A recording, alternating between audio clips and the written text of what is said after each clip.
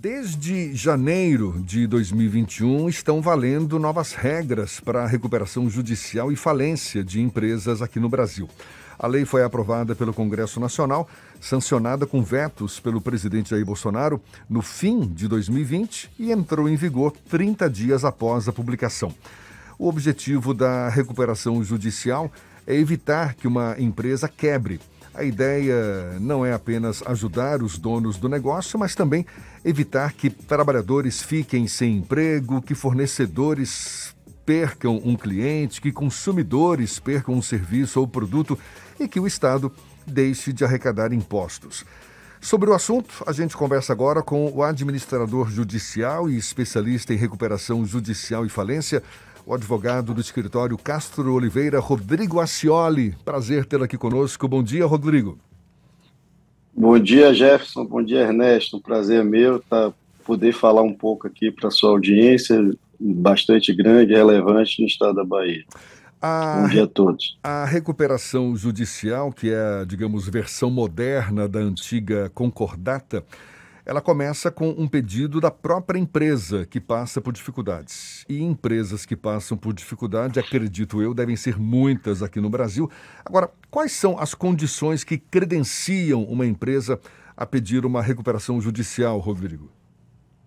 É, você bem falou aí no, no início, na, na apresentação, é, há uma lei, né, que é uma lei de 2005, e essa lei ela foi reformada no, no final de 20, passando a viger em 21, com algumas, no, algumas atualizações, algumas novas regras, mas basicamente hoje o empresário, a sociedade empresária, é, que exerça a atividade forma, regularmente, comprove isso, pode fazer, fazer o pedido. Né? Tem algumas, é, a lei ela excepciona algumas é, empresas ou o tipo de atividade que não se aplica, como empresa pública, sociedade de economia mista, instituição financeira, pública e privada, mas de regra geral, do que é o nosso conhecimento aqui mais cotidiano, dia a dia, elas se aplicam, né? Sociedades empresárias, comércio, serviço, micros empresas, empresas de pequeno porte, médias, médias e grandes empresas.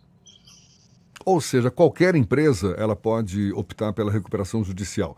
Agora, ela, ela precisa apresentar que tipo de informação para justificar esse pedido, Rodrigo?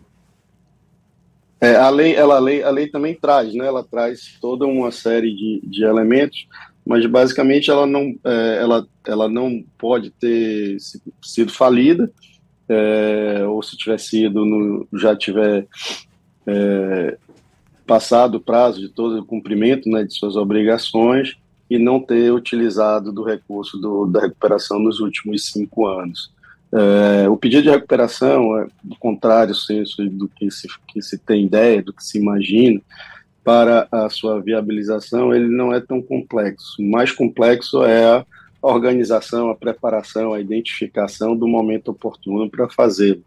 É, a lei ela traz alguns requisitos que você precisa apresentar, algumas certidões, a condição de empresário, o funcionamento da atividade empresária pelo menos dois anos, e feita essa demonstração, se demonstra uma petição inicial também a, a situação de crise econômica e financeira, é, a apresentação desse rol de documentos que a lei traz, e daí o juízo ele vai poder apreciar se, se estão presentes todos esses requisitos formais, né, e daí poder fazer o ele, ele aí viabiliza e defere o processamento e aí tem um início o processo de recuperação judicial da, da empresa. Qualquer Doutor Rodrigo, pode falar, pode é, falar, não, Ernesto. Não, não pode falar. É, é, essa nova legislação, ela apenas atualiza, aperfeiçoa a legislação anterior, ela procura dar respostas a uma situação que a economia brasileira tem vivido nos últimos anos. Ou seja, Muitas empresas passaram a precisar mais acionar o mecanismo da recuperação judicial a ponto de ter sido necessária essa, essa atualização? Ernesto, em alguma medida sim, porque a lei, é, ela, a lei originariamente ela é de 2005, né? Então ela já teria, já tem hoje 17 para 18 anos, uma lei já madura, só que é uma lei que não não conseguiu e dificilmente você vai conseguir esgotar todas as hipóteses práticas né, de dia a dia que vão surgindo no, ao longo do, do seu, seu exercício de, de vigência. Né? Então, a partir de 2005, houve de fato, como você mencionou aí, um crescimento da, do, de, de, se buscar esse, esse recurso da, da recuperação judicial. Tem um, um, ponto bastante importante também, que é uma desmistificação. Né? O processo de concordato e falência antigos eram processos em que a, a concordata era uma pré-falência e, e o processo de falência também era um, uma não saída, né? Era uma alternativa ali de, de quebra, de realmente é, uma definição sem que viabilizasse de fato o, o, restabelecimento da atividade empresarial. A lei de 2005 ela já traz isso. Aí nós tivemos alguns episódios de crises mais acentuadas na economia, né? Aquela de 2008. Então, anos depois, um ou dois anos depois, isso é refletido no número de processos de, de empresas que recorreram a esse instrumento é, de, de, de, reestruturação. E agora, mais recentemente, também com a pandemia, se viu essa, essa, esse recrudescimento aí do, do, da situação de crise das empresas, com uma maior busca, de fato, ao, ao, à recuperação judicial. Com essa reforma de 20, ele respondendo, do final de 20, nós tivemos um, um, uma atualização, porque com um, um aumento do, do, número de processos, aumentaram também as, as situações em que não estavam previstas na lei, né? E aí a jurisprudência precisou fazer, e ainda continua precisando, mas precisou fazer em grande medida é, a, apresentar alternativas, soluções, soluções de fato práticas para que se viabilizasse a recuperação. E, e, a lei de 20 traz isso, mas também traz, por exemplo, ela tem artigos em que ela menciona a situação de, de uma pandemia, por exemplo. Isso foi contemplado também na legislação. Agora, a, é, contrário do que às vezes se imagina, é, nem sempre e a gente tem isso representado agora no final do primeiro semestre desse ano, nem sempre um, um aumento, uma piora do cenário econômico reflete imediatamente um aumento do número de, de, de, de processos de recuperação judicial ou de falência. É, nós vimos isso aí ao longo da pandemia, em que se esperava, tinha uma expectativa de que fosse ter um, uma crescente bastante importante desse, desses processos e não houve tanto quanto se imaginou. A lei ela também traz essa reforma, ela trouxe alguns é, alguns agravantes ou alguns dificultadores, né, para para que para as empresas, aumentando um pouco o seu risco ali de, de na utilização desse instrumento. E agora a, a Serasa mesmo, é, ela informou agora no final do primeiro semestre, uma informação de dados estatísticos, né, que houve uma diminuição de quase 20% no primeiro semestre, isso eu falo nível Brasil, é, do número total de pedidos de recuperação. Em janeiro a junho de 21, nós tivemos 454 processos, e de 21, né? Em janeiro a junho desse ano, deste ano, nós tivemos 390, quase 17%, mais ou menos. E, e há também uma, um, um, dado que é, que é importante de se observar, o perfil dessas empresas que buscaram, nesses períodos, o, o, o, o Instituto aí da Reestruturação, né, da insolvência.